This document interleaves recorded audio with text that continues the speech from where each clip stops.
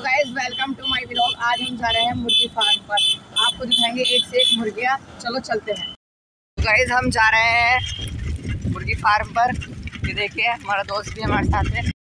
ये देखिए गाइस हम आ गए हैं मुर्गी फार्म पर। आपको दिखाते हैं एक से एक मुर्गी, मुर्गे अलग अलग वराइटीज़ के।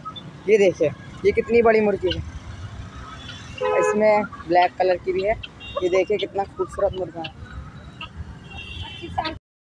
देखिए तितर भी है। ये देखिए। यहाँ पर बत्तख भी है।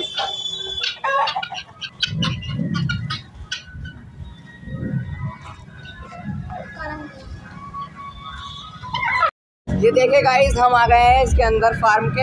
ये देखिए यहाँ पर खरगोश भी हैं।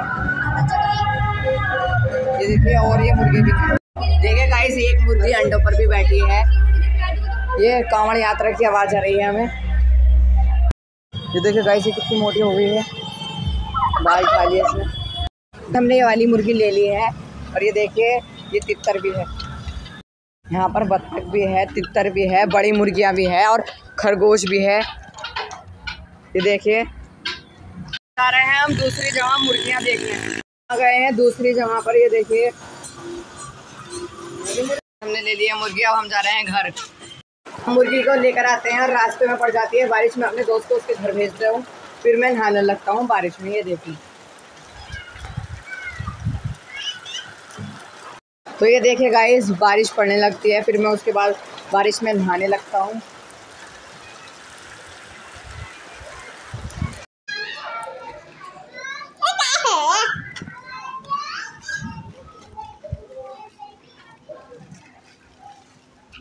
नहा के कर लेता हूँ मैं कपड़े चेंज आपको दिखाया कितना मज़ा आया नहाने में। अब जा रहा हूँ मैं अपना सामान उठाकर ट्यूशन वर्ष भी लाया था अब जा रहे हैं हम ट्यूशन अब मैं ट्यूशन से अपने घर आ जाता हूँ और अपना सामान रखता हूँ। मैंने रख दिया है अपना सामान अब चलते हैं ऊपर।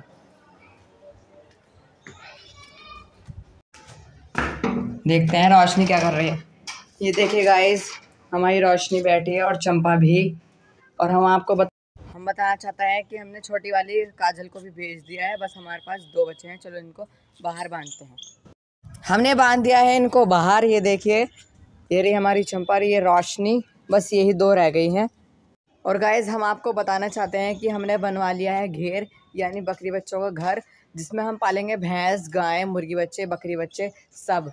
हमारी चंपा भी वहीं पर चली जाएगी। उस आपसे एक रिक्वेस्ट है, हमारे चैनल को सब्सक्राइब करें और हमारी वीडियो को लाइक करें।